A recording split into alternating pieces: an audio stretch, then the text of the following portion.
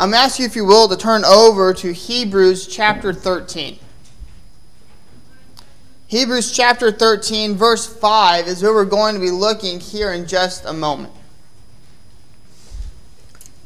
Before we do, though, we want to take this opportunity to, as we normally do and multiple times throughout our worship services, we do, we welcome everybody here. We especially welcome our visitors here. We're excited that we're able to come, we're able to worship God, and we're excited that we're able to see new faces.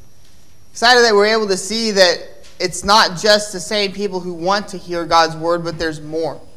And that's an exciting and edifying thing for each and every one of us. Now, if you remember last week, I spoke on our best life. And as I spoke on our best life, it was, it was in regards to the fact we can't have it if we don't have God. Tad mentioned something to me following the, the services, and he said that it went along well with another lesson he heard on being content. Well, this morning, we're going to look at being content. And the reason is, is I thought it fit really, really, really well. And I was so happy that he brought that up. You see, when we talk about being content, that's something kind of difficult in our world for us. It can be really hard for us to actually be content in our life. Why? Why is it so difficult? Well, much like you see this girl who, who has this cup and the water's falling over and the cup's already full. Our lives are very much the same. Our cups become full and we have everything that we need. But yet we live in this first world country, and just because we have what we need, we still want more. We want that new phone that comes out. We want that new car. My car might be X years old, but it still drives well. I want something new. We might want that new technology. We all know that I love my technology. But why do we really need it? You see, the point is, is that we always want something more. When we will. I see this at work, where one person started with stocks. And what ended up happening is that this one person started there, but everybody else saw it. And so they wanted it. And they thought, I want to be a part of that. I want to have this gain. They weren't content. Well, they were until they saw, well, maybe I can have more. This morning, that's why we're looking at our best life. But we're looking at it with the, the only idea of being content.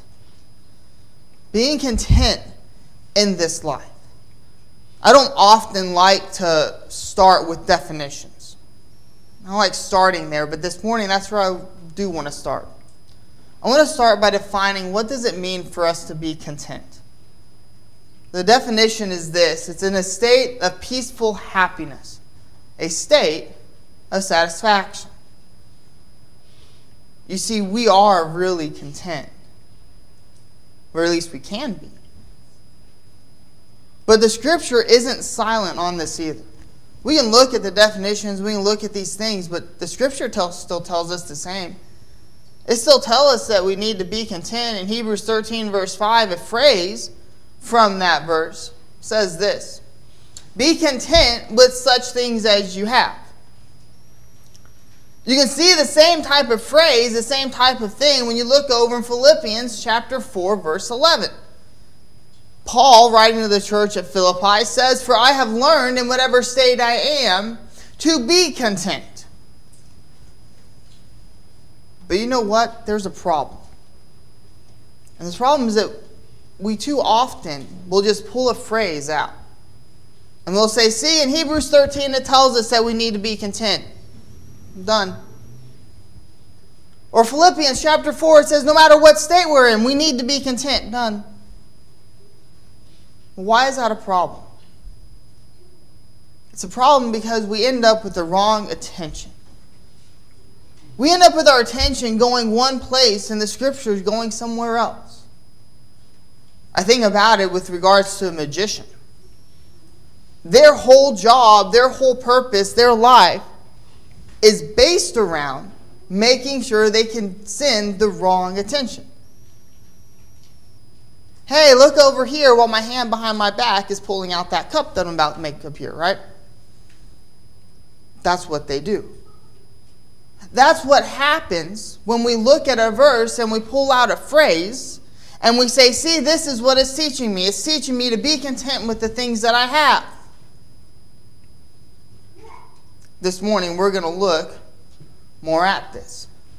We're going to look more at is it teaching us to be content with the physical things in life, or is it teaching us to be content with the spiritual things? Now, as we continue on and we look at what it means for us to be content, let's start in Hebrews. We're going to go back to this verse that we pulled the phrase from, but instead of pulling that phrase, let's read what it actually tells us. Hebrews chapter 13, and let's begin in verse 5. He says, Let your conduct be without covetousness. Be content with such things as you have, for he himself has said, I will never leave you nor forsake you. So we may boldly say, The Lord is my helper, I will not fear. What can man do to me? You see, I'm not going to disagree, and we're going to look at it in a moment. I believe he's talking about us being content with the physical things that we have. But let's explain it. In order to explain it, let's start at let your conduct be without covetousness. What's that telling us? Well, it's very simple. We know what it means for us to covet something, we know what it means for us to be covetous. It means that we have this strong desire for what somebody else has, right? It's a pretty simple concept. But why is it that we find it telling us to not covet in the same area that it's telling us to be content? Well, because one goes against the other, doesn't it? When we begin to covet over what somebody else has, what ends up happening is that we think we are not content. We think that we are not satisfied with the things that we have. We think the things that we have aren't enough. Takes us back to that first world problem that we think that our life is defined not by the things which matter, but by the things of this world. By the things that are here, by our car that we drive, by the phones that we have, whatever the tech, whatever you want to use. And when we begin to covet on things, that's what happens. We're not content because we think that we're defined by something else.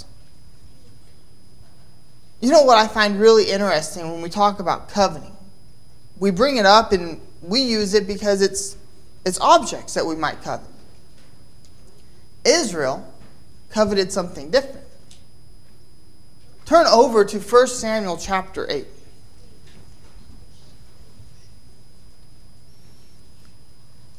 First Samuel chapter 8, verses 4 and 5. Samuel writes, Then all the elders of Israel gathered together and came to Samuel at Ramah and said to him, Look, you are old, and your sons do not walk in your ways. Now make us a king to judge us like all the nations. What did the elders come to Samuel and say? They came and said, We want to be like everybody else. What were they coveting? They were coveting wanting to be like everybody else, weren't they? Coveting is not something new. Matter of fact, it's never going to be something new. It's something in our nature that we want more. There's something in our nature that tells us, I want more. We're going to look in a moment why that's not really a bad thing. Why it's not a bad thing that our nature says, I want more. But it was for the Israelites. It was for the Israelites because when they coveted these things, when they coveted and wanted to be like the other nations, they weren't content with the things that they had. They weren't content with what they were given on this earth. So let's ask this question again. Is he talking about the physical things? Or is he talking about the spiritual things? When we look at it, we might think that it's one or the other. But it's really not. It's really not that it's talking about one thing or the other. It's talking about how one thing goes along with the other. When we realize that I have enough physical things, and we realize that not because we were this profound human, but we realize it because I don't need them. I realize I don't need the physical because I have the spiritual. That's what we see the Hebrew writer talking about. Talking about the fact that when we when we covet on these earthly things, it's taking our attention away from the spiritual things. And there is no way, no possibility for us to live our best life if we're focused physically.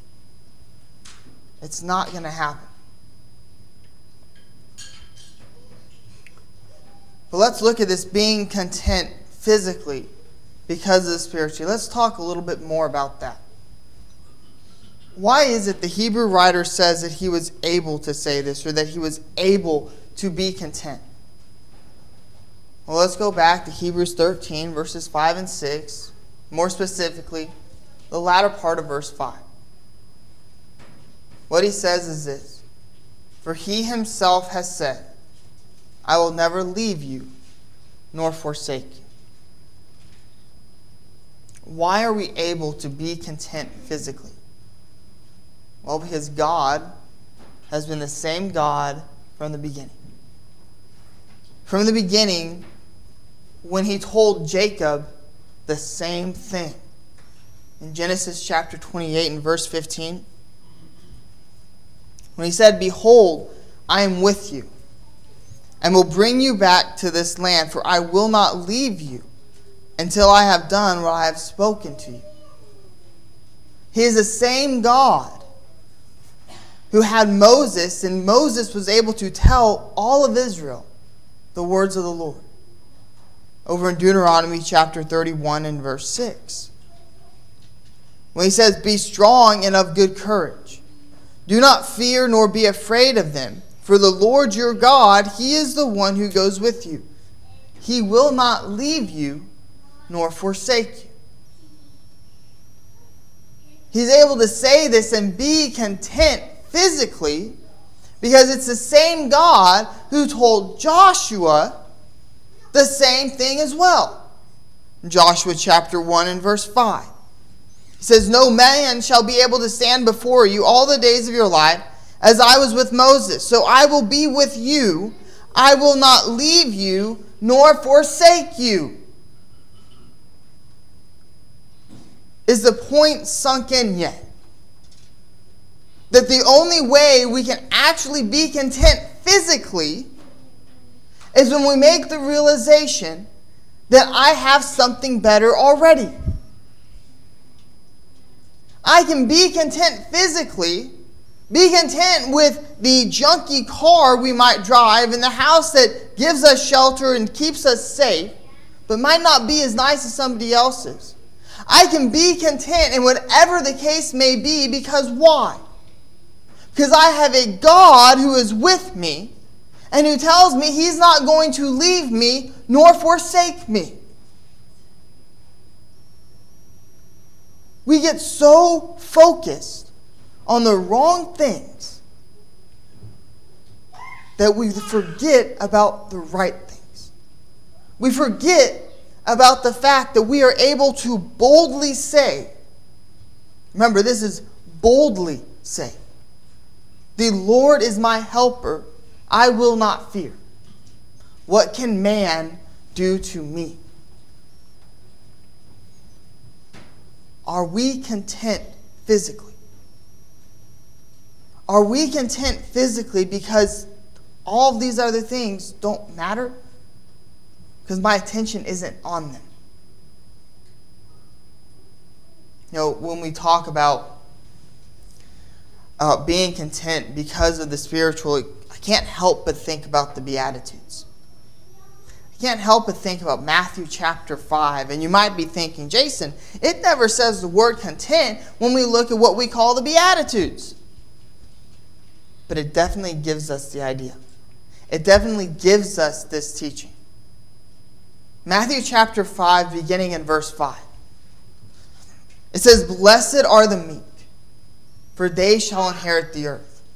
Blessed are those who hunger and thirst for righteousness, for they shall be filled. I mentioned just a minute ago that it's not a bad thing that we want more. It's not a bad desire that we need more. Because when we're humbled enough on this earth, humbled enough to realize that these aren't the things I need, that these aren't the things that matter, and that turns in and, and become, becomes that hunger and thirst for righteousness.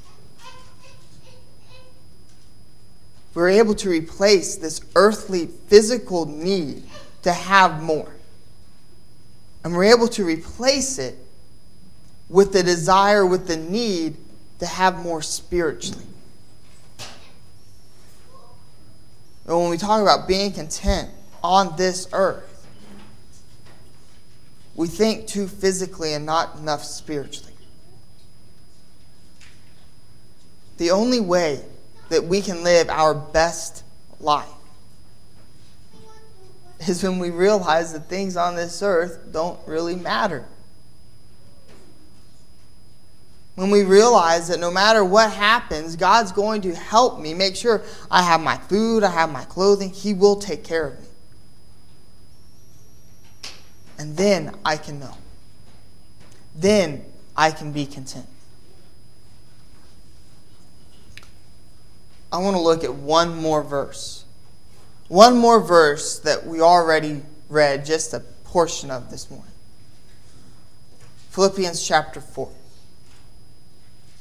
Philippians chapter 4, verses 11 through 13.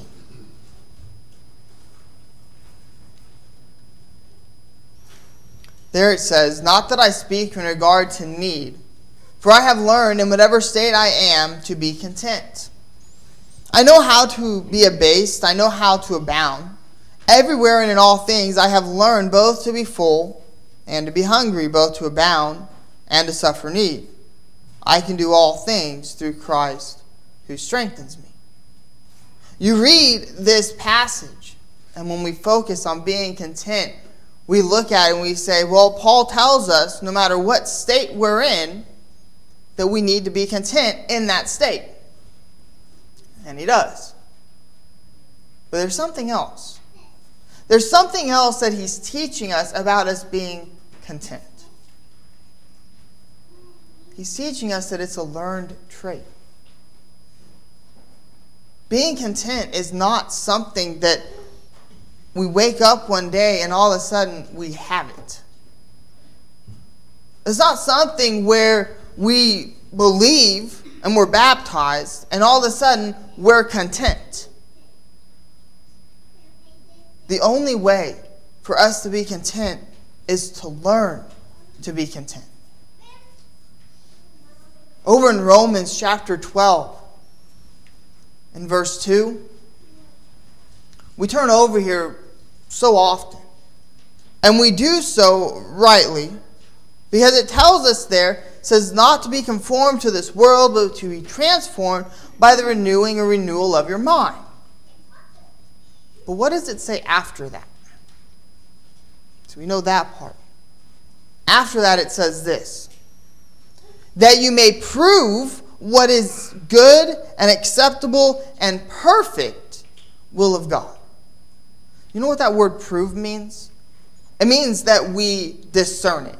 It means that we learn it. We have to learn what is the will of God. Just like we have to learn how to be content. Because His will is definitely for us to be content. To be content with the physical things, knowing of something better.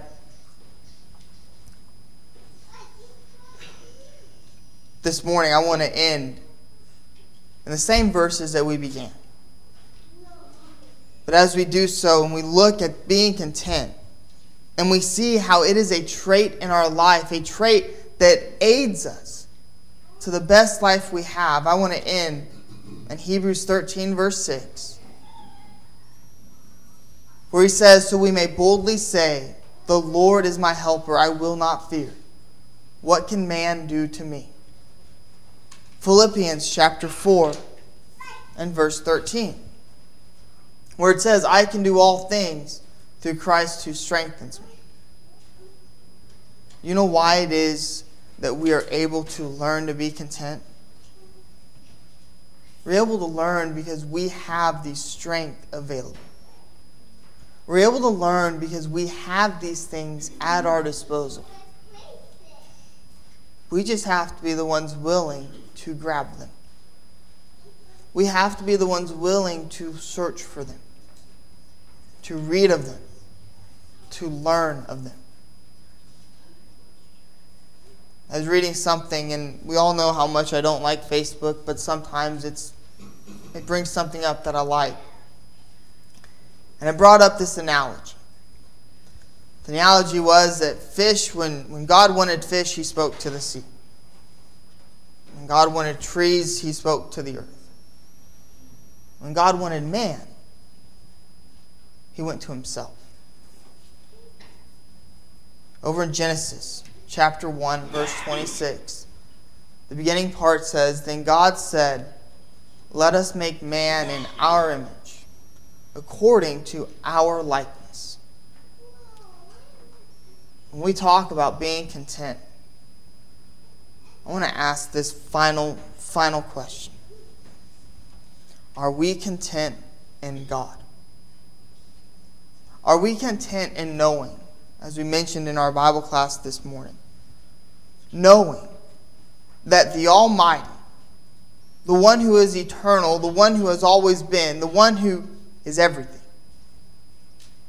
are we content in knowing that He made this earth so that we might walk on it, bring glory to Him.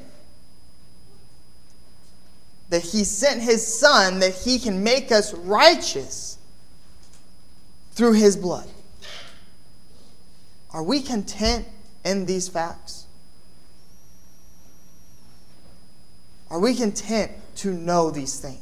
To live our life believing these things? Because if we are, then all we have to do is obey. All we have to do is let those things be what resonate in our mind. Because when God is first in our mind, when God is first in our life, we will live our best life. But when He is not, our life will be sad. It just will. We might not think it while we're here. We might not think that, that having 18 sports cars and a $4 million mansion is a sad thing. But it is. It is when it's misplaced, it is when it's the wrong attention. My question this morning is Are you in Christ? Have you come to Christ? Have you been baptized? Have you been added to his body? If you have, then that is a wonderful, wonderful thing. But if you haven't, I ask why. If we know that we need to be baptized, we know that we need these things, why have we waited? Or maybe we, we didn't wait. We've been baptized, and yet we find we've fallen away. We've been distracted by the earthly things that have taken us away from God. If you need to come forward and make things known in a public manner, we ask you to do so. Or if you need to come forward for prayers. The Church of Christ is a small, small community. One where we know a lot of people. Do we use that? Do we take advantage of this community that we have? this spiritual community. Because if we need prayers, we can use that community. If you need prayers, if you need to be baptized, if you need to make things right in a public way, we ask you to please come forward as we stand and as we sing.